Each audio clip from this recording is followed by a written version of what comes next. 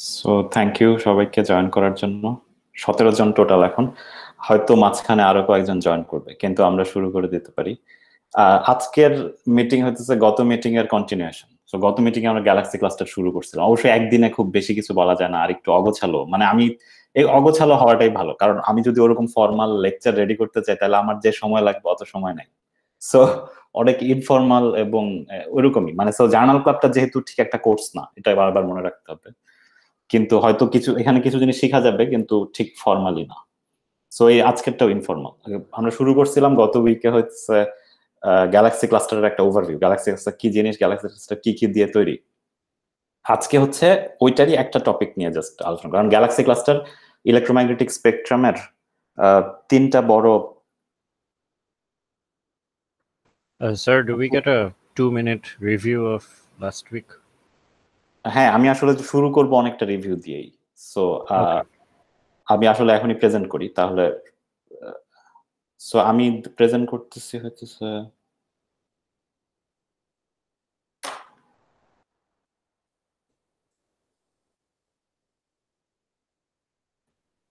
দেখা যাচ্ছে screen yes sir so আমার দুইটা স্ক্রিন থাকবে। একটা হচ্ছে আমার আইপ্যাড আর একটা হচ্ছে ল্যাপটপ আর পাইথন দেখাবো যখন, তখন ল্যাপটপে চলে আসব। কিন্তু আর না হলে হচ্ছে বাইশ জন জয়েন করছে। আরশাদ স্যার এখন আসে নাই। আচ্ছা আরশাদ থাকলে ভালো হতো, কারণ উনি কিছু হেল্প টেল্প করতে পারতো। আচ্ছা যাই হোক।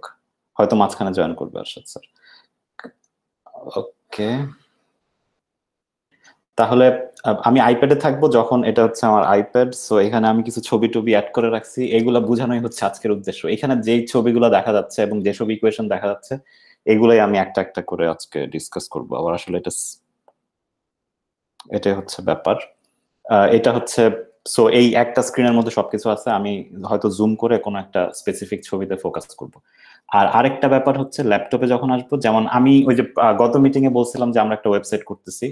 এনসাইক্লোপিডিয়া টাইপের ঠিক এনসাইক্লোপিডিয়া না, কোনো ফর্মাল এনসাইক্লোপিডিয়া না। এখানে সবকিছুই অনেক ইনফর্মাল সো এটা একটা নলেজ বেস টাইপের যেখানে এনসাইক্লোপিডিক আর্টিকেলও থাকতে পারে, অনেক কিছু থাকতে পারে। এবং সেটা আইবির সার্ভার থেকে করার কথা ছিল, কিন্তু আইবির সার্ভারটা রেডি হইতে যেহেতু যেহেতু এটা মানে আমার, ওদের সাথে যোগাযোগ করতে একটু সময় লাগবে। সেজন্য আমি আমার পার্সোনাল হোস্টিং ইতিমধ্যে শুরু করে দিচ্ছি ওই গুগল ক্যালেন্ডারের মিটিং এর লিঙ্কটাতে এই লিঙ্কটা যেমন আজকের মিটিং এর লিঙ্কটা দেওয়া আছে। আমি আর গুগল ডকে কিছু করতেছি না, কারণ মানে এটা অনেক বেশি কনভিনিয়েন্ট এটা হচ্ছে ডকুউইকি নামে একটা কন্টেন্ট ম্যানেজমেন্ট সিস্টেম যেখানে লাটেক লেখা যায় খুব ভালো এবং এমনকি কোড পাইথন কোড বা সবকিছু ইনকর্পোরেট করা যায় অনেক ইজিলি সো রিসার্চ কি নাম? ডকুউইকি সো গুগল করতে পারো একজন ওকে ডকুউইকি এটা হচ্ছে মিডিয়া উইকিপিডিয়া যে সফটওয়্যার দিয়ে তৈরি ওইটারই জ্ঞাতি ভাই। সো এটা হচ্ছে মিডিয়া ওই উইকিপিডিয়া যে সফটওয়্যার দিয়ে তৈরি ওইটার নাম হচ্ছে মিডিয়া উইকি আর এটা হচ্ছে ডকু উইকি কিন্তু দুইটাই উইকি টাইপের প্যাকেজ তো সো এখানেই সবকিছু করব। এখানে হচ্ছে কেউ যদি তোমরা যদি জার্নাল ক্লাবে যাও, তাহলে হচ্ছে সবগুলো জার্নাল ক্লাবের কারও মাইক্রোফোন থেকে একটু নয়েজ আসতেছে কোথায় থ্যাংকস ইয়েস সো যদি জার্নাল ক্লাবে যাও এখানে, আর জি জার্নাল ক্লাব লিঙ্কটা কিন্তু ইতিমধ্যে আছে। সো এটা হচ্ছে আমার পার্সোনাল ওয়েবসাইট যেটা ছিল বিকেড রুম ডট সাইট সেটার আন্ডারেই আমি জাস্ট এটা রাখতেছি আপাতত। তারপরে আইবির সার্ভার রেডি হলে আমি এটাই জাস্ট আইবিতে কপি পেস্ট করব আর কিছু না। সো মানে এখানে যা হইতেছে এটাই এটাই অফিসিয়াল ধরে নিতে হবে। জাস্ট হচ্ছে এখন হোস্টিংটা ডিফারেন্ট আর কিছু না। আর এখন যেহেতু এটা আমার পার্সোনাল হোস্টিং এটা অনেক স্লো হবে, কিছু করার নেই। সো ওয়েবসাইটটা তোমরা, তোমাদের সবার কাছে অনেক স্লো লাগবে বাট কিছু করার নেই। কারণ হচ্ছে ফার্স্ট সার্ভার নিতে অনেক টাকা লাগে আচ্ছা। সো আর জি জার্নাল ক্লাব এখানে গেলে এই সবগুলো দেখা যাবে। সো প্রত্যেকটা ভিডিও এখানে এমবেড করা আছে। এটারটা আমি করি নাই এখনও। কিন্তু তিন নাম্বারটা যদি যাও, সেটার ভিডিও এমবেড করা আছে। এবং ওই ওই দিনের রিলেটেড যা কিছু থাকবে ইনফরমেশন ইকুয়েশন ম্যাটেরিয়াল সবকিছু এখানেই থাকবে। সো আজকের বিষয় হতেছে আমরা বলছিলাম গ্যালাক্সি ক্লাস্টার দিয়ে শুরু করছি। আজকে হতেছে গ্যালাক্সি ক্লাস্টার তিনটা বড় বড় ব্যান্ডে তিনটা তিনটা বড় বড় ইলেকট্রোম্যাগনেটিক ব্যান্ডে অবজার্ভ করা যায়। অপটিক্যাল রেডি সরি রেডিও থেকে শুরু করি। রেডিও অপটিক্যাল এক্সরে সো মনে রাখতে হবে রেডিও হচ্ছে সবচেয়ে বড় ওয়েভলেন্থ অপটিক্যাল হচ্ছে মাঝামাঝি আর এক্সরে হচ্ছে সবচেয়ে ছোট ওয়েভলেন্থ আবার যদি উল্টা ভাবে বলি রেডিও হচ্ছে সবচেয়ে লো ফ্রিকোয়েন্সি অপটিক্যাল হচ্ছে মিডিয়াম ফ্রিকোয়েন্সি আর এক্সরে হচ্ছে সব মানে অলমোস্ট সবচেয়ে হাই ফ্রিকোয়েন্সি সো এই এই পুরা রেঞ্জে রেডিও থেকে এক্সরে পর্যন্ত, পুরা রেঞ্জে গ্যালাক্সি ক্লাস্টার দেখা যায়। কিন্তু আমি যদি এক এক রেঞ্জে দেখি, এক এক ব্যান্ডে দেখি সো এই রেঞ্জের মধ্যে প্রত্যেকটাকে বলা হয় band so radio band optical band x-ray band এক এক ব্যান্ডে দেখতে এক এক রকম হবে। আমরা এটাও আলোচনা করছিলাম যে যদি আমি অপটিক্যালে দেখি একটা গ্যালাক্সি ক্লাস্টার বলছে একটা ক্লাস্টারের ভিতরে কয়েক হাজার গ্যালাক্সি থাকে। সো অপটিক্যালে দেখলে আমি জাস্ট গ্যালাক্সি গুলো দেখব ইন্ডিভিজুয়াল কারণ অপটিক্যাল টেলিস্কোপ দিয়ে লাইট দেখা যায়। আমরা খালি চোখে যা দেখি অপটিক্যাল টেলিস্কোপ তাই দেখে। খালি ওর সেন্সিটিভিটি বেশি দ্যাটস ইট সো আমরা খালি চোখে আকাশে তাকালে তারা দেখি। সো অপটিক্যাল টেলিস্কোপ শুধু তারাই দেখবে। আর তারাগুলো থাকে গ্যালাক্সির ভিতরে। সো এক একটা গ্যালাক্সি দেখবে অপটিক্যাল টেলিস্কোপ আর কিছু দেখবে না। কিন্তু আমি যদি এক্স রে দিয়ে দেখি, তাহলে আমি গ্যালাক্সি দেখব না। কারণ গ্যালাক্সি গুলা অ্যাজ এ হোল এক্স রেতে খুব একটা এমিট করে না। করে যদি তার ভিতরে ব্ল্যাক হোল থাকে, কিন্তু অধিকাংশ গ্যালাক্সিতে ধরতেছে ওরকম অ্যাক্টিভ ব্ল্যাক হোল না আর ব্ল্যাক হোল থাকলেও সেটার ওখানে ব্যাপার আছে। সো ইন জেনারেল ধরে নিতে হবে, অতটা ডিপেন্ড করে না। সরি মানে এক্স রেতে দেখলে গ্যালাক্সি দেখা যায় না। দেখা যায় হচ্ছে জাস্ট ইন্ডিভিজুয়াল গ্যালাক্সি কি দেখা যায় সেটা দিয়ে শুরু করব আজকে। রেডিওতে কি দেখা যায় সেটা আজকে আমরা আলোচনা করতেছি না। রেডিওতে অন্য জিনিস দেখা যায়। রেডিওতে সো অপটিক্যালে দেখা যায় ইন্ডিভিজুয়াল গ্যালাক্সি এখন আমি যদি এখানে একটু সরি আমি বারবার আমার এটাতে একটু অভ্যস্ত হতে হবে। সো আমি এখানে জুম ইন করি শুরুতে, কারণ আমরা এই ছবিটা দিয়ে শুরু করব। সো এইখানে যেটা দেখা যেতেছে এটা হচ্ছে একটা গ্যালাক্সির ছবি। এটা কিন্তু এক্স রে দিয়ে তোলা ছবি অপটিক্যালে না। আমি যদি অপটিক্যাল টেলিস্কোপ দিয়ে ছবি তুলতাম, তাহলে এগুলো কিছুই দেখা যেত না। কারণ এক্স রে দিয়ে ছবি তোলার পরে আমার মনে হইতেছে সো বোঝা যেতেছে এখানে রেড মানে হচ্ছে ব্রাইটনেস বেশি। আর যত আমি নীলের দিকে যাচ্ছি, তত ব্রাইটনেস কম। আমরা টেলিস্কোপ দিয়ে যা অবজার্ভ করি, সেটাকে এক ধরনের ব্রাইটনেস হিসেবে ইন্টারপ্রেট করা যায়। আকাশের কোন একটা অবজেক্টের সারফেস ব্রাইটনেস সো এটা মনে রাখতে হবে। কারণ আমরা কোনো ডেপথ বুঝতেছি না। আমরা জাস্ট একটা সারফেস দেখতেছি আকাশে। সেই সারফেসের ব্রাইটনেস কোন জায়গায় কত, সেটাই দেখতেছি। সো এই ছবি দেখে স্পষ্টই বোঝা যাচ্ছে যে, এটার মাঝখানে ব্রাইটনেস সবচেয়ে বেশি। যত দূরে যেতেছি ব্রাইটনেস তত কমতেছে। কেউ একজন বোধহয় কমেন্ট করছে। হ্যাঁ আবার কেউ মন্তব্য করতে পারো চ্যাট বক্সেও লিখতে পারো। এই ইমেজটা হ্যাঁ এই ইমেজটা চন্দ্র, ও, আমি আবার ভুলে গেছি, এটা চন্দ্র না এক্সএমএম কিন্তু হয় চন্দ্র হবে অথবা সবচেয়ে, ওই সময়কার সবচেয়ে বড় দুইটা আমরা ওই টেলিস্কোপে যাব ডিটেল আসলে, কোন ধরনের টেলিস্কোপ দিয়ে এক্সরে ছবি তোলা হয়। এটা সম্ভবত চন্দ্র, দেখে মনে হতেছে আমার, কিন্তু এক্সএমএম নিউটন থেকেও কোনো ইনপুট থাকতে পারে, আমি ভুলে গেছি। কারণ এটা আমি বই থেকে নিচ্ছি বইয়ের লিঙ্কটা ওই যে দেওয়া থাকবে। এটা হচ্ছে পিটার স্নাইডারের এক্সট্রা গ্যালাকটিক অ্যাস্ট্রোনমি বই থেকে নেওয়া ছবিটা। সো এই ছবির, দেখ, বুঝা সো আমি এক্সট্রা দিয়ে যখন ছবি তুলতেছি, মনে হচ্ছে এই পুরাটা একটা সিঙ্গেল অবজেক্ট কিন্তু আমি জানি গ্যালাক্সি ক্লাস্টার তো একটা সিঙ্গেল অবজেক্ট না। গ্যালাক্সি ক্লাস্টার হচ্ছে ক্লাস্টার অফ গ্যালাক্সিস কিন্তু আমি যখন ছবি তুললাম, দেখতেছি জাস্ট একটা অবজেক্ট তার মানে আমি এখানে কোনো গ্যালাক্সি দেখতেছি না। যা দেখতেছি গ্যালাক্সি দুইটা গ্যালাক্সির মাঝখানে যে গ্যাস আছে, আমাদের আপ নর্মালি দেখলে মনে মনে হয় যে দুইটা গ্যালাক্সির মাঝখানে শূন্য স্থান এমটি স্পেস কিন্তু অফকোর্স এমটি স্পেস না। দুইটা গ্যালাক্সির মাঝখানে গ্যাস থাকে। সেই গ্যাসের ডেন্সিটি অনেক কম কম্পেয়ার টু হচ্ছে গ্যালাক্সির ভিতরের গ্যাস কিন্তু স্টিল গ্যাস আছে। এবং এই পুরো এরিয়াতে হয়তো কয়েক হাজার গ্যালাক্সি এটা হচ্ছে কোমা ক্লাস্টার সো এক্সট্রা অ্যাস্ট্রোনমিতে সবচেয়ে পপুলার কারণ সবচেয়ে ভালো অবজার্ভ করা হয়েছে এরকম দুইটা ক্লাস্টার হচ্ছে একটা পার্সিয়াস ক্লাস্টার একটা হচ্ছে কোমা ক্লাস্টার নাম হচ্ছে দুইটা। নাম, নামের অর্থ কি সেটা এখন যে বোঝার দরকার নেই। সো যেটা বলতেছিলাম যে এই ছবিতে আমি যা দেখতেছি সেটা হচ্ছে গ্যাস। ওই গ্যালাক্সি গুলোর মাঝখানে গ্যাস এবং ইন্ডিভিজুয়াল গ্যালাক্সি গুলার পজিশন কোথায় এগুলো এই হোয়াইট লাইনগুলো দিয়ে দেখানো হচ্ছে। সো এখানে যে গ্যালাক্সিটা ছিল সেটার নাম হচ্ছে এনজিস এই গ্যালাক্সি আমি দেখতে পাচ্ছি না। এটা হচ্ছে অপটিক্যাল অপটিক্যাল টেলিস্কোপের ছবির সাথে ম্যাচ করে বুঝা জাস্ট পয়েন্ট আউট করা হইতেছে যে এইখানে একটা গ্যালাক্সি ছিল এখানে একটা ছিল এখানে একটা ছিল এবং কোন গ্যালাক্সির নাম কি সব দেওয়া আছে। এইখানে একটা অবজেক্ট এক্স রেতেও ধরা পড়ছে কিন্তু এটা বোধহয় কোনো গ্যালাক্সি না, এটা হচ্ছে ফোরগ্রাউন্ডের একটা তারা। মানে আমাদের গ্যালাক্সির ভিতরের একটা তারা। কারণ আমরা যখন অফকোর্স ছবি তুলতেছি, তখন আমাদের লাইন অফ সাইটে যদি আমাদের গ্যালাক্সির ভিতরের কোনো তারা থাকে, তাহলে সেগুলো ছবিতে ধরা পড়বে। এবং যদি সে এক্সট্রাতে এমিট করে, যাই হোক। সো এখানে তাহলে বোঝা যেতেছে ইন্ডিভিজুয়াল গ্যালাক্সি গুলো কিন্তু আমরা ওইটা ফোকাস করতেছি না আমরা ফোকাস করব হচ্ছে এই গ্যাসের উপরে। সো হ্যাঁ। Uh, sir, so in light of what you said, um, so say আমরা ওই যে অন্য আর একটা গ্যালাক্সি ক্লাস্টার দেখতেছি এখন হাউ do we know যে আমাদের লাইন অফ সাইটে there is ওই যে there is nothing to obstruct our view? মনে করেন এই যে আমাদের ভিতরে গ্যালাক্সি থেকে একটা স্টার দেখছি but what if there was gas between our line of sight and the galaxy cluster we trying to observe হ্যাঁ সো ওইখানে যদি ছবি তোলার পরে যদি কোনো লাইন অফ সাইটে যদি কোনো স্টার থাকে এক্সট্রা এমিটিং কোনো অবজেক্ট থাকে সেটা আমি ছবিতেই দেখতে পাবো। সো ওইটা অবশ্যই যখন অবজারভেশন সিলেক্ট করে তখন মানুষ এগুলো কনসিডার করে যে আমার লাইন অফ সাইট মোটামুটি ফ্রি আছে কিনা। কিন্তু অ্যাবসলুট ফ্রি বলে কিছু নাই। লাইন অফ সাইটে আমার দুই ধরনের জিনিস থাকতে পারে। ঠিক লাইন অফ সাইটও না, আমরা এখন এটাকে বলতে পারি ফিল্ড অফ ভিউ কারণ আমরা তো জাস্ট একটা পয়েন্ট অবজার্ভ করতেছি না, আমরা একটা ফিল্ড অবজার্ভ করতেছি। সো এই ফিল্ড অফ ভিউ এর ভিতরে স্টার থাকবেই। আমার জাস্ট দেখতে হবে, আমি অবজারভেশন এমন ভাবে সিলেক্ট করব যাতে যথাসম্ভব কম থাকে। আর যদি স্টার নাও থাকে, তারপরেও গ্যাস থাকবে। কারণ আমাদের গ্যালাক্সির ভিতরে যেখানেই যাই গ্যাস আছে, এটা কিছু করার নেই। এবং অবশ্যই আমাদের সুবিধা এক্স রেতে সুবিধা হতেছে আমাদের গ্যালাক্সির ভিতরের গ্যাস এক্স রে এমিট করে না।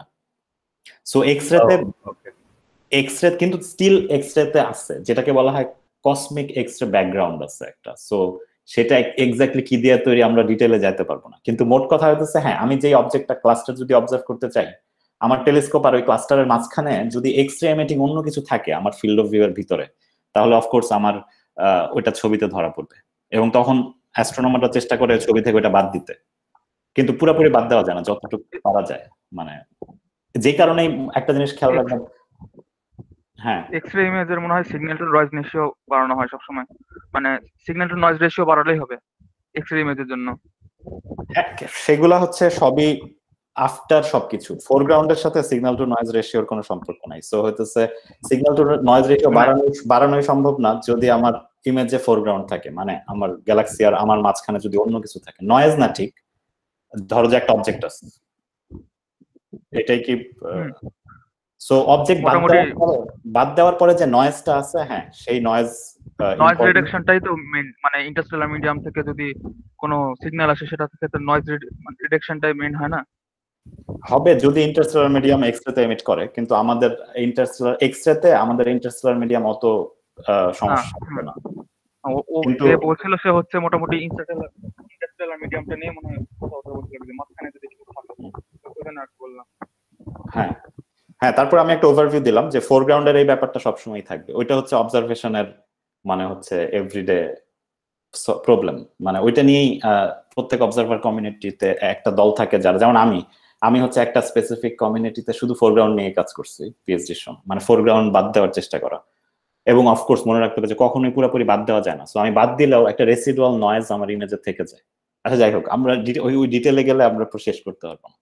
সো তাহলে এটা হচ্ছে ব্যাপার এক্সট্রা তাহলে আমি আবারও বলতেছি যে এখন এটার সাইজ কত? সাইজটা একটু বলে রাখা দরকার যে এখানে কয়েক হাজার গ্যালাক্সি আছে, আমি এই ছবিতে গ্যালাক্সি দেখতেছি না, দেখছি দেখতেছি মূলত গ্যাস দুইটা গ্যালাক্সির মাঝে যে গ্যাস আছে সেই গ্যাস এবং এটার একটা নাম আছে যে নামটা মানে পুরো মুখস্থ করে ফেলতে হবে, কারণ এটা আমরা সবসময় ইউজ করব গ্যালাক্সি যেরকম একটা নাম। সো এটার নাম হচ্ছে সবসময় আমরা বলব আইসিএম যেটা আমি ওই ডকুইকিতে লিখে রাখছি। সো এটা এটা কি আদৌ লিখছি আমি? আইসিএম এই যে।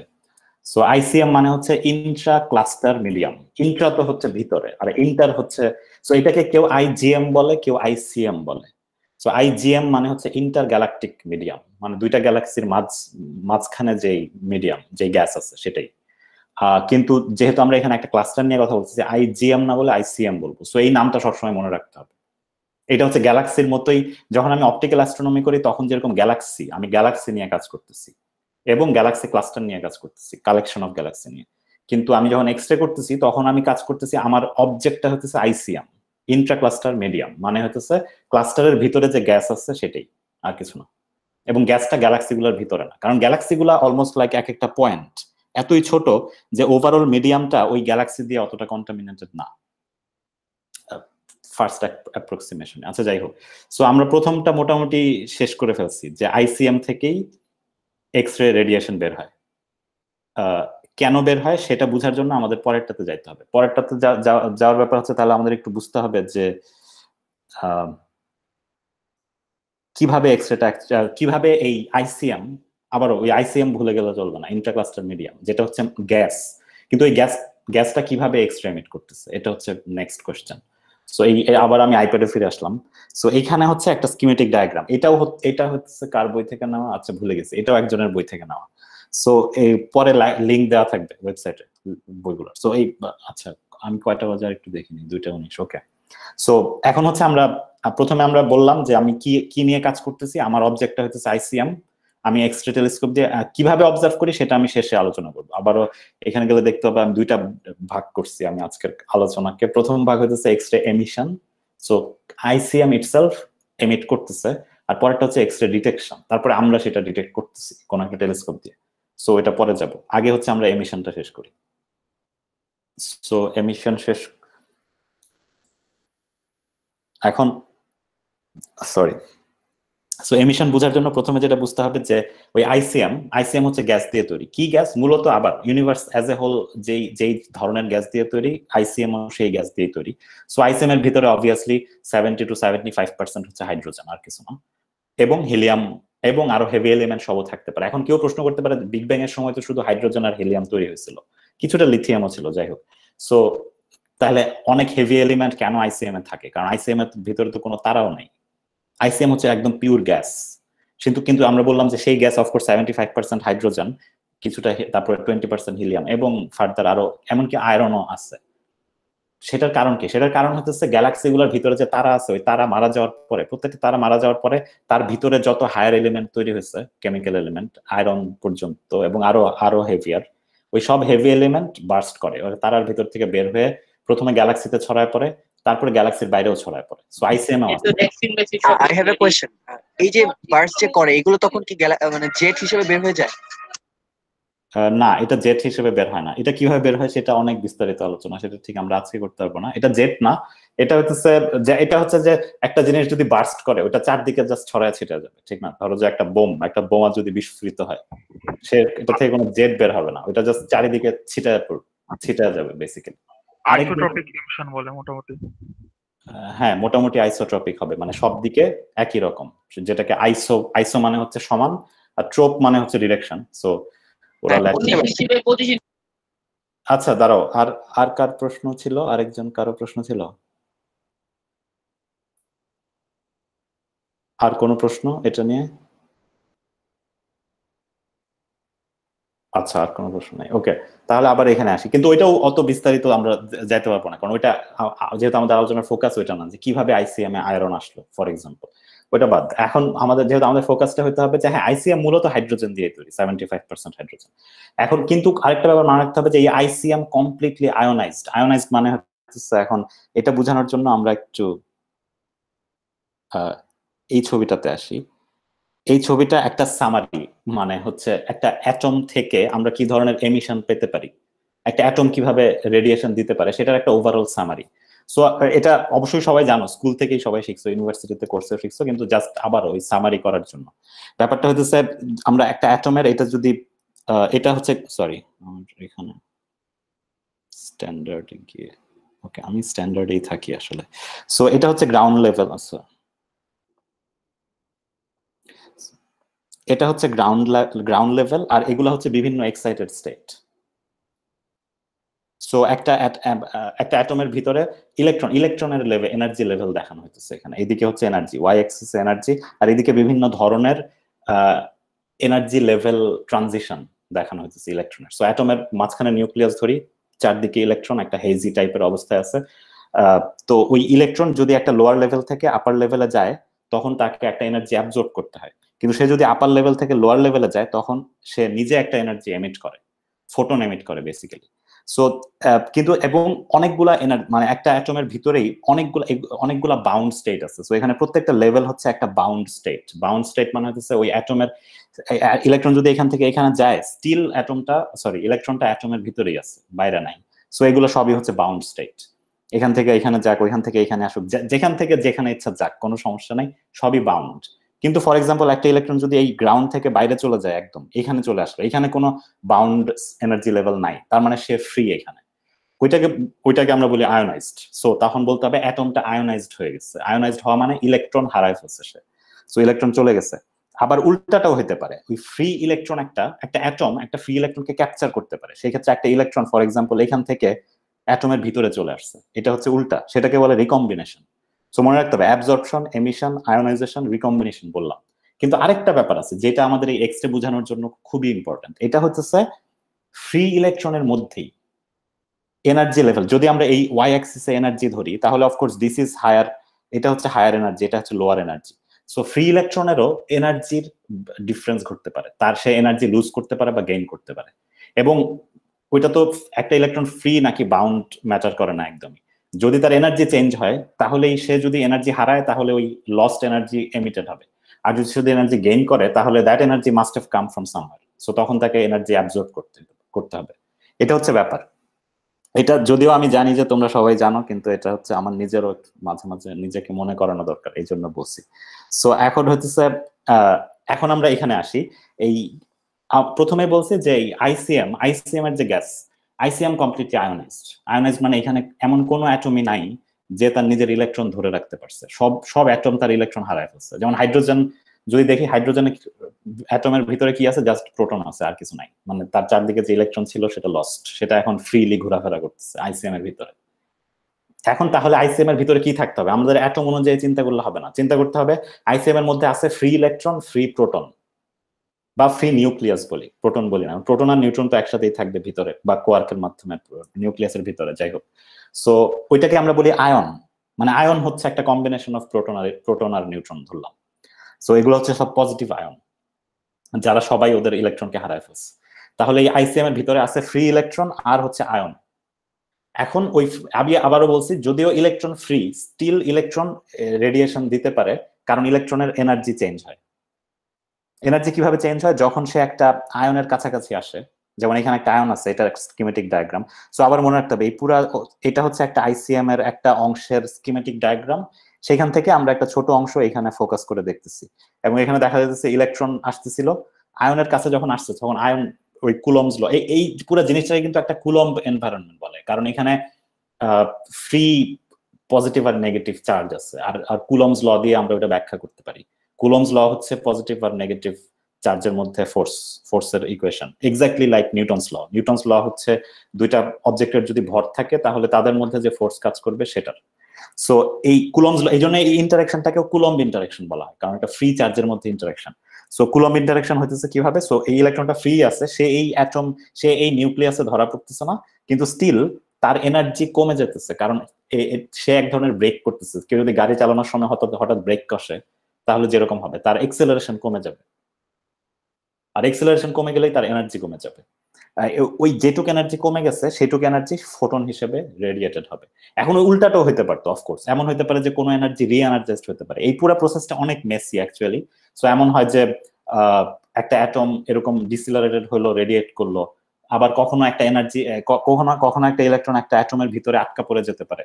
কখনো আবার সেখান থেকে বের হইতে পারে। সো আমি ওই আগে যে ছবিটা দেখাইছিলাম, এই সব প্রসেসই অ্যাকচুয়ালি আইসিএম এর ভিতরে চলতে থাকে। কিন্তু আমাদের দেখতে হবে সবচেয়ে ডমিনেন্ট প্রসেস কোনটা। ডমিনেন্ট প্রসেস হচ্ছে এইটা, এই ফ্রি ফ্রি এবং এই অ্যাবজর্পশন এমিশন আয়োনাইজেশন রিকম্বিনেশন এগুলার চেয়ে ডমিনেন্ট হচ্ছে ফ্রি ফ্রি যেহেতু ম্যাক্সিমাম টাইম ওরা ফ্রি থাকে। কিন্তু ফ্রি ফ্রি ফ্রি ফ্রি মানে ফ্রি ইলেকট্রনের এনার্জির কম বেশি হতেছে এখানে। এবং সেই কারণে সে রেডিয়েট করতেছে। কিন্তু আবার মনে রাখতে হবে যেই ফোটনটা রেডিয়েটেড হইল সেই ফোটনটা আবার অন্য একটা ইলেকট্রন ক্যাপচার করে তার এনার্জি বাড়ানোর চেষ্টা করতে পারে।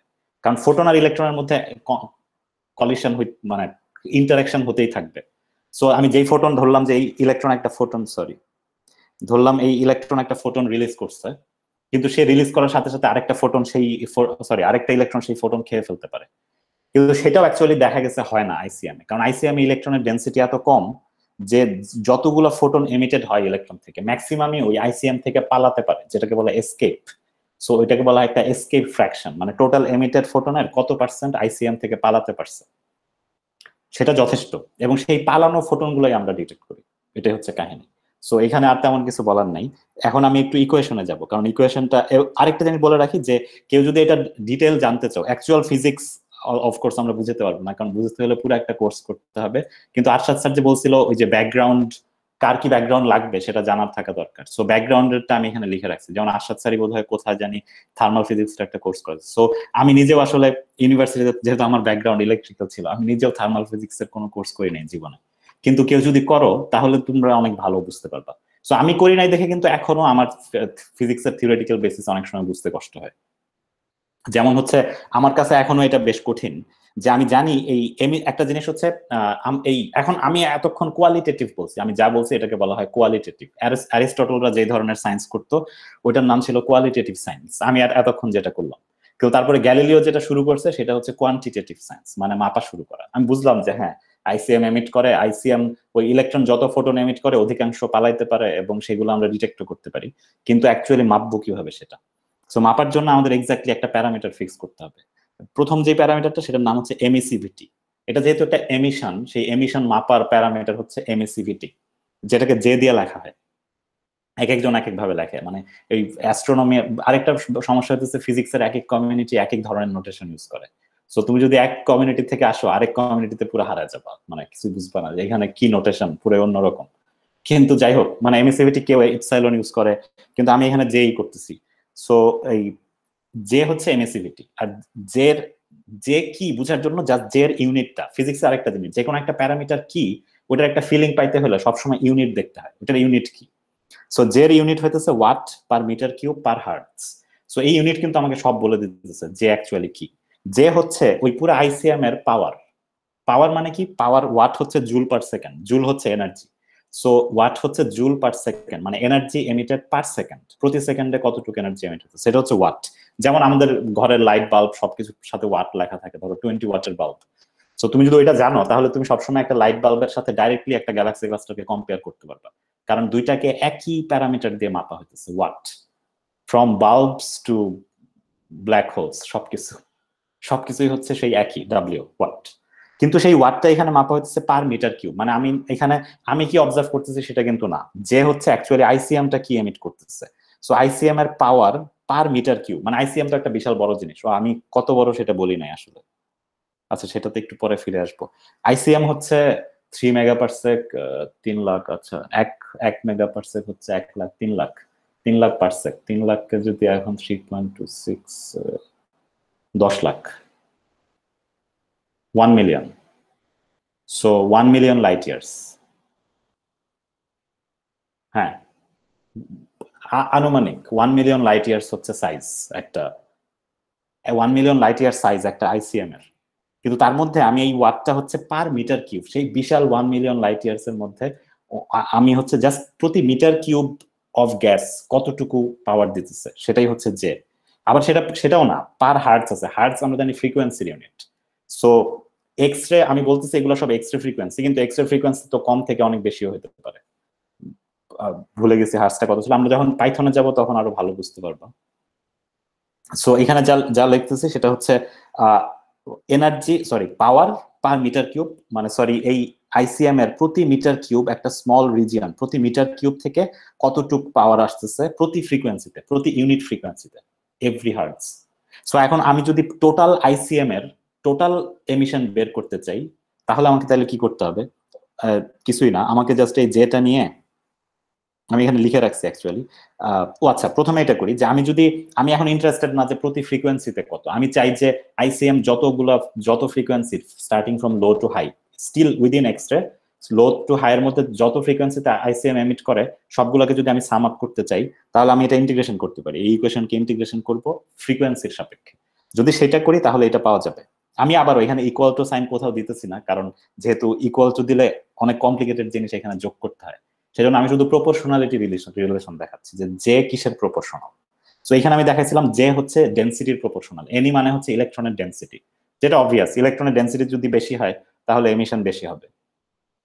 আরেকটা হচ্ছে যে টেম্পারেচারের inversely proportional temperature square root of temperature temperature হচ্ছে ওই গ্যাসের টেম্পারেচার আর এখানে একটা এক্সপোনেনশিয়াল টার্ম আছে, যেটা আমাকে বলতেছে এর রিলেশন এই টেম্পারেচার আমি যদি জে আর ফ্রিকোয়েন্সি প্লট করি, এইদিকে ফ্রিকোয়েন্সি আর ওইদিকে জে প্লট করি যেটা অ্যাকচুয়ালি পাইথনে করব, তাহলে ওটা একটা এক্সপোনেনশিয়াল কার্ভ হবে আর কিছু আচ্ছা যাই হোক, আমি ডিটেলে যাচ্ছি না। সো আমি এটাকে যদি ইন্টিগ্রেট করি, তাহলে জে টি পাবো। আগে আমার জে ছিল ফ্রিকোয়েন্সি এই যে নিউ এবং টি নিউ হচ্ছে ফ্রিকোয়েন্সি টি হচ্ছে টেম্পারেচার এই দুইটার উপর ডিপেন্ডেন্ট এখন আমার জে হচ্ছে অনলি টেম্পারেচারের উপর ডিপেন্ডেন্ট কারণ আমি ফ্রিকোয়েন্সি ফ্রিকোয়েন্সির রেসপেক্টে ইন্টিগ্রেশন করে ফেলছি, শেষ। তাহলে আমার সব ফ্রিকোয়েন্সিতে টোটাল এমিশন হচ্ছে এটা। তাহলে এটার ইউনিট কি হবে? Just watt per metre cube per হার্টসটা চলে যাবে। তারপরে হচ্ছে আমার লুমিনোসিটি বের করতে পারি। আমি আগেই বলছিলাম যে লুমিনোসিটির ইউনিট কিন্তু জাস্ট ওয়াট আগেই বলছি লুমিনোসিটি মানে পাওয়ার আর কিছু না। সো অবভিয়াসলি আমি যদি তারপরে এই জে কে আবার ইন্টিগ্রেট করি ভলিউমের সাপেক্ষে সো একটা ক্লাস্টারের ফুল ভলিউমে যদি ইন্টিগ্রেট করি, তাহলে আমি টোটাল লুমিনোসিটি পাবো। কিন্তু স্টিল আমরা শুধু ক্লাস্টারটা নিয়ে কথা বলতেছি। আমরা তো অ্যাকচুয়ালি এই জিনিসটা অবজার্ভ করতে পারব না কখনোই লুমিনোসিটি কারণ এই লুমিনোসিটিটা অলমোস্ট এরকম। আমি যদি একটা এক্সাম্পল দিই কোনো একটা অবজেক্ট দিয়ে। সো এটা সো এটা যদি একটা অবজেক্ট হয় এবং এখান থেকে যা বের হইতেছে, আমি যদি তার পাশে বসে থাকতাম, তাহলে আমি তাকে যেরকম দেখতাম, সেটা হচ্ছে লুমিনোসিটি সেটা হচ্ছে এল কিন্তু অফকোর্স আমরা দেখতেছি পৃথিবী থেকে, অনেক দূর থেকে। এবং আমরা সবাই জানি যে একটা লাইট বাল্বকে যদি আমি অনেক দূরে নেই তার- তার আলো দিয়ে আমাদের কাজ হয় না। ঘরের লাইট যদি অনেক দূরে থাকে, ভালো করে দেখা যায় না সেটাতে। সো লুমিনোসিটি আমি যত দূর থেকে দেখব, তত কমতে থাকবে। সো আমি অ্যাকচুয়ালি এই লুমিনোসিটিটা মেজার করতেছি না। এই লুমিনোসিটি হচ্ছে অ্যাকচুয়াল লুমিনোসিটি অ্যাকচুয়াল পাওয়ার কিন্তু আমরা যেটা মেজার করি, সেটার নাম হচ্ছে ইন্টেন্সিটি যেটাই আমি এখানে লিখে রাখছি আবার। এখানেও কিছু প্রপোর্শনালিটি রিলেশন আছে, আমি বিস্তারিততে যাইতেছি না। কিন্তু ইন্টারেস্টিং ব্যাপার যেটা, সেটা হচ্ছে ইন্টেন্সিটিটা এক্স্যাক্টলি একই রকম, এই এমিসিভিটির মতোই। আমি পুরো এমিসিভিটিটা লিখে এটার শেষে আমি এখানে একটা ইউ লিখছি E to the power minus U কারণ এই H nu by KT K U লেখা হয় ইন শর্ট যাই হোক।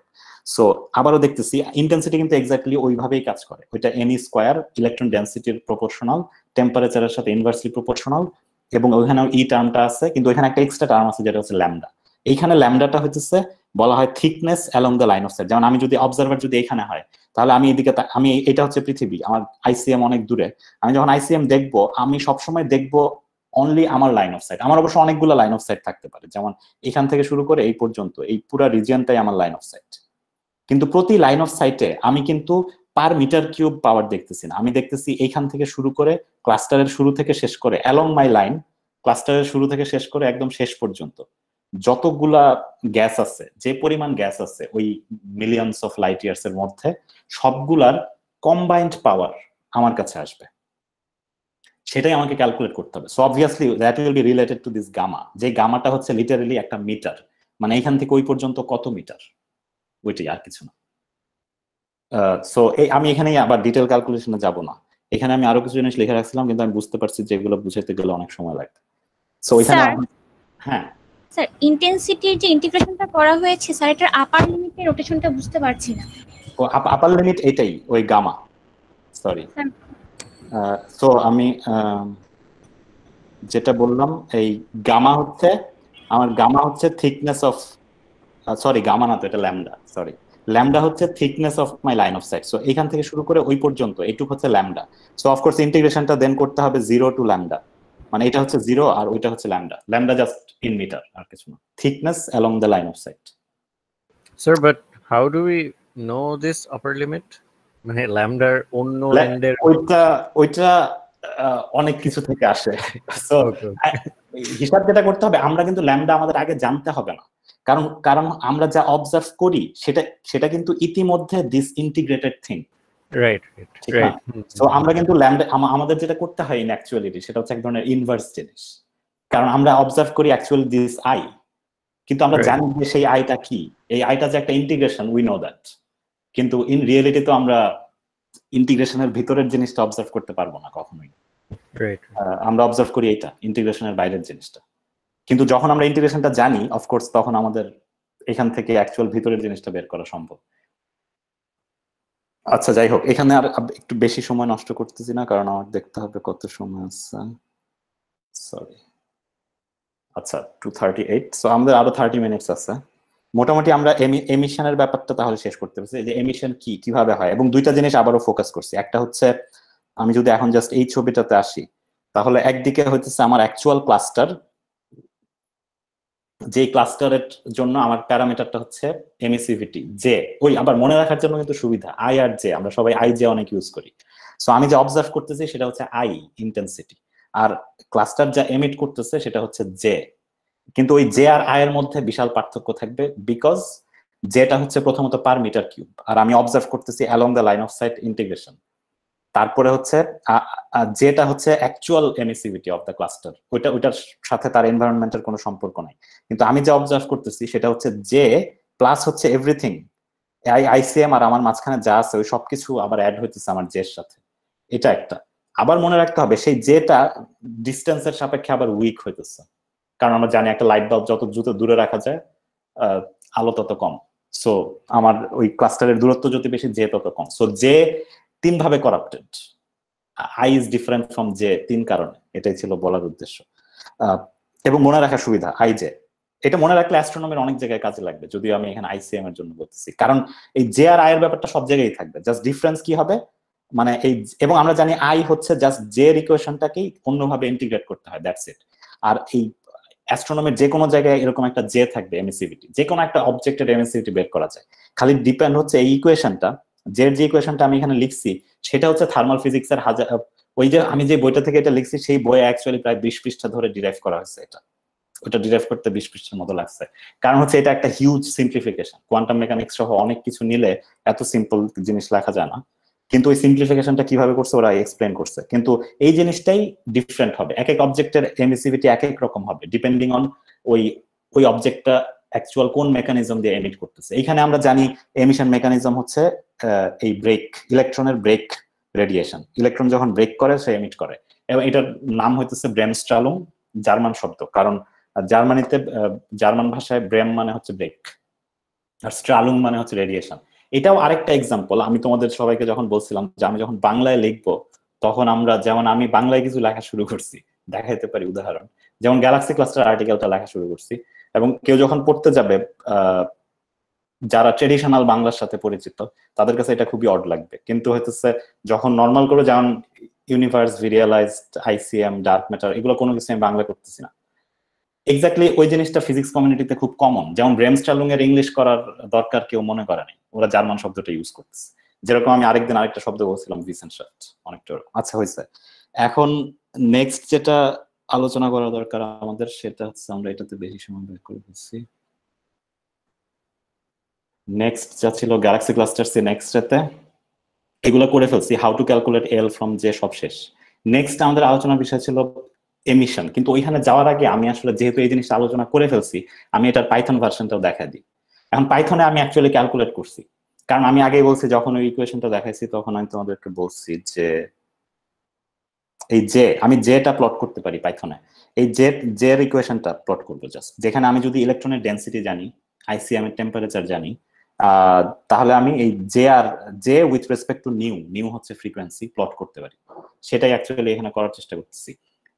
এখানে ভ্যালুগুলা কীভাবে আসছে সেগুলো বলতে গেলে আমার জীবন শেষ হয়ে যাবে, কারণ সেটা আমি নিজে অত ভালো বুঝি না।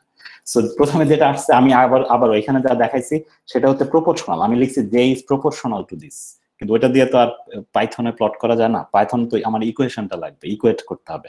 আর সেই ইকুয়েট করার জন্য আমার অফকোর্স একটা কনস্ট্যান্ট লাগবে ওইখানে। সেই কনস্ট্যান্টের ক্যালকুলেশন অনেক জটিল। আবার সেই কনস্ট্যান্ট একটা না, সেই, সেখানে একটা কনস্ট্যান্ট আছে যেটাকে জাস্ট আমরা সি বলতে পারি কনস্ট্যান্ট প্লাস আরেকটা জিনিস আছে যেটাকে জি বলা হয়, ওটাকে বলা হয় গন্ট বা গাউন্ট ফ্যাক্টর যেটা কোয়ান্টাম মেকানিক্স থেকে আসে। সো ওই দুইটাই আমি জাস্ট ভ্যালু বসায় দিচ্ছি, আর কিছু না। পরে সি এর ভ্যালু ওই এই হেল ব্র্যাটের অ্যাস্ট্রোফিজিক্স প্রসেসে দেওয়া আছে এটা। সো যা দিছে, আমি তাকে বিশ্বাস করে এটা বসাই দিচ্ছি সি হচ্ছে six point eight times ten to the power minus fifty one আর আর জি যেটা বললাম, আরেকটা কোয়ান্টাম মেকানিক্যাল ফ্যাক্টর সেটার একটা ইকুয়েশন আছে। এটাও একটা simplified version of the quantum mechanical factor কারণ আমরা সবকিছু করতেছি ক্লাসিক্যাল মেকানিক্স এর হিসাব অনুযায়ী। আর ওইটার সাথে যদি একটু ওই জীব যোগ করে দিই, তাহলে ওইটা কিছুটা কোয়ান্টাম হয়। তারপরেও পুরোপুরি না। আচ্ছা যাই হোক ওটা করার পরে আমার যে ইকুয়েশন এটা হচ্ছে আমার জের ইকুয়েশন দেখতে পাচ্ছ সবাই নাকি আরও বড় করব? বড় করলে ভালো হয়। আচ্ছা তাহলে একটু বড় করতেছি। ওকে এখন মনে হয় বেটার হবে। সো এখন আমি যেটা দেখাতে চাচ্ছি সেটা হচ্ছে এখানে। সো আমি কিন্তু একটা ফাংশন ডিফাইন করতেছি এখানে। পাইথনে এইভাবে ফাংশন ডিফাইন করতে ও অবশ্যই পাইথন নিয়ে আমরা আলাদা টিউটোরিয়াল করতে পারি। সো আজকে আমি বলতেছি না পাইথন কীভাবে ইউজ করতে হয় সেটা বলতেছি না আমি জাস্ট দেখাচ্ছি। সো ওই ওই রিলেটেড প্রশ্ন করলে আমাদের দেরি হয়ে যাবে। সো যে হচ্ছে একটা ফাংশন কিসের function ফ্রিকোয়েন্সির function T temperature N E ইলেকট্রনের ডেন্সিটি এই এন দিয়ে আমরা করি সবসময়, কারণ এন মানে হচ্ছে নাম্বার ডেন্সিটি মানে how many electrons are there per metre cube এটা হচ্ছে এন ই সেজন্য এটা সবসময় এন দিয়ে করা হয়। এন ই আর এন আই দুইটাই আসলে লাগবে। কারণ আমি এখানে যে এন এন ই বলছিলাম, এটা এন এটা আসলে এন স্কোয়ার হবে। কারণ এন স্কোয়ারটা আসতেছে এন ই আর এন আই থেকে। কারণ এটা একই সাথে ইলেকট্রনের ডেন্সিটি এবং আয়নের ডেন্সিটি দুইটার উপরই ডিপেন্ড করে। N E E N I R Z হইতেছে জাস্ট চার্জ ওই আয়নের চার্জ কত পজিটিভ চার্জটা কত। সো যদি প্রোটন হয় তাহলে জাস্ট প্লাস ওয়ান জেড হচ্ছে প্লাস ওয়ান আর কিছু না। আচ্ছা যাই হোক। সো সি আর ডি ক্যালকুলেট করছি, তারপর জে আমি জাস্ট বসাই দিচ্ছি। সি টাইমস জি যে ভ্যালুটা আমাদের এখানে ছিল না। এটা আগে আমি সি আর জি বসালে এটা ইকুয়েশন হয়ে যাচ্ছে। সো সি টাইমস জি তারপরে আচ্ছা আরও জেডটাও আসতেছে, যাই হোক। জেড স্কোয়ার তারপর হচ্ছে এন স্কোয়ারের বদলে আমি এন ই আর এন আই দুইটা মাল্টিপ্লাই করতেছি। এখানে কিন্তু এন স্কোয়ার ছিল। যাই হোক এন ই আর এন আই মাল্টিপ্লাই করলে ওটা এন স্কোয়ার হয়ে গেল।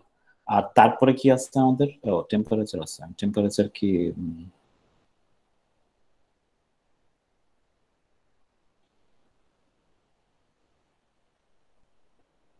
ও আচ্ছা আমি টেম্পারেচার ওইখানে কেন নিচ্ছি আর কারণ আমি এভাবেই লিখতে পারতাম one over square root T যাই হোক, ওটা আমি শেষে লিখছি। সো এটা হচ্ছে ওই one over square root T NP square root T আর এটার মাঝখানে কি আছে? ই টু দি পাওয়ার এই ইটা কিন্তু আমি ম্যাথ মডিউল থেকে নিছি from math import E Euler constant so eta নেওয়া, এই ডাবল মাল্টিপ্লিকেশন মানে হচ্ছে to the power E to the power minus H nu divided by K T যেখানে এইচ হচ্ছে প্লাঙ্কস কনস্ট্যান্ট মনে রাখতে হবে কে হচ্ছে বোলসমানস কনস্ট্যান্ট এবং এইচ নিউ আর টি খুবই আছে হোক বিস্তারিত যাব এটা করে ফেললাম। এটা হচ্ছে আমার ফাংশন এটা কিন্তু এখানে আমি কোনো কিছু ক্যালকুলেট করিনি। আমি এই ফাংশনটাতে যদি আমি এই কয়টা? একটা, দুইটা, তিনটা, চারটা, পাঁচটা। এই পাঁচটা ইনপুট প্যারামিটার দেই, তাহলে সে আমাকে রিটার্ন করবে যে এমসিভিটি রিটার্ন করবে। সো এখন আমার যেটা ক্যালকুলেট করতে হবে, তো আমি একটা ফ্রিকোয়েন্সির জন্য করতে চাই না। আমি একটা লিস্ট অফ ফ্রিকোয়েন্সির জন্য করতে চাই। কিসের জন্য? আমার আমার লিস্ট অফ ফ্রিকোয়েন্সি হচ্ছে এটা। Ten to the power ten hertz থেকে ten to the power twenty hertz পর্যন্ত। সো এক্সট্রা মনে রাখতে হবে হিউজ ফ্রিকোয়েন্সি এটার সাথে অপটিক্যাল কম্পেয়ার করলে বুঝব, আমি ভুলে গেছি অপটিক্যাল কত ছিল। যাই হোক। সো এক্সট্রা হচ্ছে ten to the power ten থেকে ten to the power twenty hertz আর আমি সো এই লিন স্পেস ফাংশনটা নাম পায়ে এই এনপি মানে হচ্ছে numpy import numpy as NP কারণ পাইথন যেহেতু সবাই জানো না, আমি একটু বিস্তারিত বলতেছি বাট অতটা না। So NP NP dot linspace দিয়ে আমি ten to the power ten থেকে ten to the power twenty পর্যন্ত পাঁচ হাজার ভ্যালু নিচ্ছি ইকুই স্পেসড ভ্যালু পাঁচ হাজার। তারপরে আমি জেড ডিফাইন করতেছি ওয়ান আমি জাস্ট ইলেকট্রন আর প্রোটন কেয়ার করতেছি। ধরে নিচ্ছি আইসিএম এর ভিতরে এখন আমার ইলেকট্রন আর প্রোটন ছাড়া আর কিছু নাই। তাহলে প্রোটনের জন্য আমার প্রোটনের চার্জ ওয়ান প্লাস ওয়ান মানে ওই ইলেকট্রনের চার্জের ইউনিটে আর কি। সো তারপরে আমি এখন ক্যালকুলেট করব। এই ফাংশন ডিফাইন করার সুবিধা এটা। এখন আমি জাস্ট যেটা আমি যখনই লিখব যে এই জিনিসটা যখনই লিখব, তখনই আমার সাথে সাথে যে ক্যালকুলেট হয়ে যাবে। ফর দিস নিউ কারণ নিউ তো আমি এখানে ডিফাইন করছি। সো এই সবগুলো নিউ এর জন্য টেম্পারেচারের জন্য আচ্ছা এখন এই এটা আবার একটা complicated version of for loop কিন্তু এক liner one liner for a for loop পাইথনের sorry so for T in ten to the power seven ten to the power eight ten to the power nine so এই তিনটা kelvin temperature so এই তিনটা তিনটা টেম্পারেচারের জন্যই আমি emissivity calculate করতে চাই। So আমি বলতেছি for T in ten to the power seven eight and nine give me the J তাহলে জের ভিতরে আমি নিউ ঢুকাইছি এখান থেকে টি ঢুকাচ্ছি হচ্ছে এখান থেকে, এই তিনটা ভ্যালুই তারপরে এন এন আই কোথায় জানি ডিফাইন করছিলাম, ভুলে গেছি। সরি এন এন আই এখানে একটা ছিল এন আই ছিল আমার ওয়ান ই সিক্স শুরুতে, যাই হোক। ও সরি সরি এটা তো ভুলে গেছি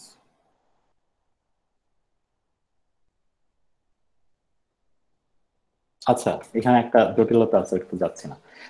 এন আই আগে ডিফাইন করা ছিল সো এটা স্টিল কাজ করে। এন ই হতেছে ten to the power six আমি ধরে নিচ্ছি। আর এন আই হচ্ছে, আমি আগে যা ডিফাইন করছিলাম সেটাই। Actually N I always ten to the power six আমি এটা লিখে রাখি। লিখে রাখলেই ভালো। সো এন আই হচ্ছে এখান থেকে নেওয়া হচ্ছে ten to the power six R Z তো এখান থেকে নেওয়া হচ্ছে। নিলে আমার এই জে টি টি এর মধ্যে কিন্তু অটোমেটিক আমি জে টি লিখছি কারণ emissivity for three different temperature আমাকে জে দিয়ে দিচ্ছে। একইভাবে আমি emissivity emissivity for three different densities এবার আমি টেম্পারেচার কনস্ট্যান্ট রাখব। সো আমি লিখতেছি নিউ এবং টেম্পারেচার সেকেন্ড ভ্যালুটা টেম্পারেচার সেটা টেন টু দি এইট বসাই দিচ্ছি দ্য মিডল ভ্যালু তারপরে আমি এন ইটা এন আই আর জেড আগের মতোই সেম এন ইটা আমি তিনটা ডিফারেন্ট ভ্যালু দিচ্ছি। আমার একটু কেন ডিসকানেক্ট হয়ে গেল। আচ্ছা যাই হোক